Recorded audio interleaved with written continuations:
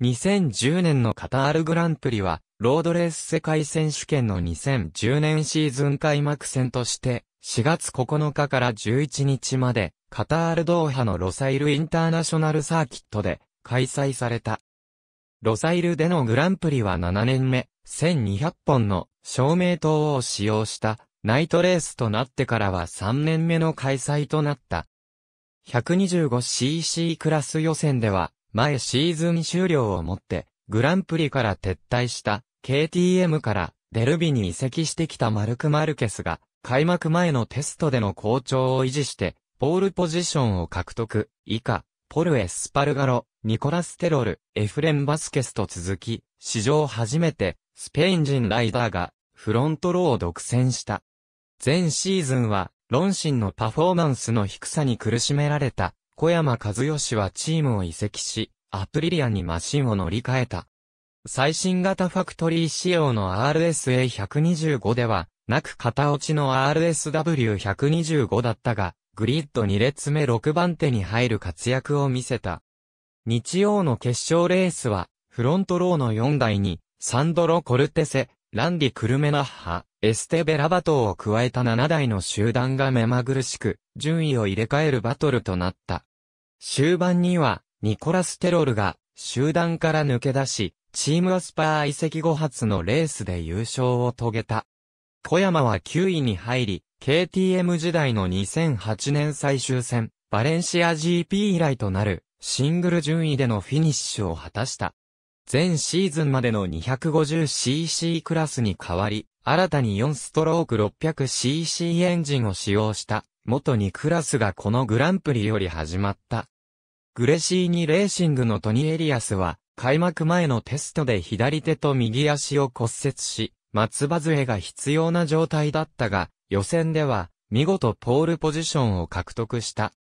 2番グリッドには 125cc クラスチャンピオンのフリアン・シモン、イカステファン・ブラドル、アレックス・デ・アンジェリスと続いた。テック3の高橋祐希は5番手、テクノマグ CIP の富澤康成は、グランプリ自己ベストとなる9番手からのスタートとなった。決勝レースは、現地時刻21時15分にスタート。1周目には、デアンジェリスとブラドルが絡んで、両者転倒、シモンもクラッチレバーのトラブルで、リタイアとなり、フロントローで残ったのは、エリアスただ一人となった。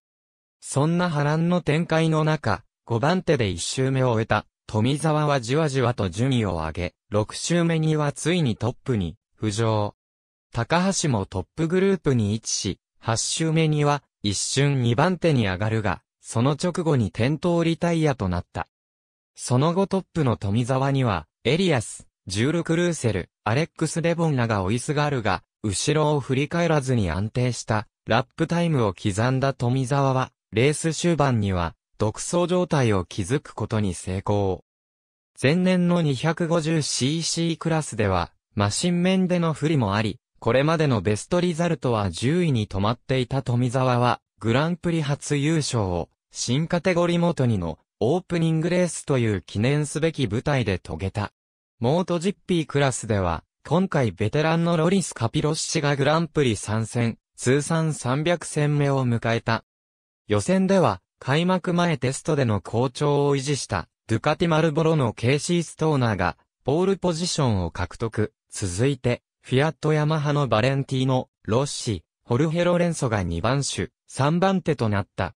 4番手には、ホンダ税最上位となる、LCR のランディとプニエが入った。このレースが、モートジッピーデビュー戦となる、インターウェッテンホンダの青山博和は、ルーキーの中では最上位となる10番手からのスタートとなった。決勝レースは、現地時刻23時にスタート。序盤はストーナーが速さを見せて、後続を離しにかかっていたが、6周目に転倒。代わって、トップに立ったロッシがレースを支配して開幕戦を制した。2番手には、チームメイトのロレンソ、3番手争いは、フィニッシュライン直前に、ドゥカティのニッキー・ヘイデンをオーバーテイクしたレプソル・ホンダのアンドレア・ドビツヨーゾが制した。続いて5番手には、ルーキー勢トップとなるテック3ヤマハのベン・スピーズ、青山は、前年ともに 250cc クラスを戦った、ライバル勢を抑え、10位で初戦を終えた。ありがとうございます。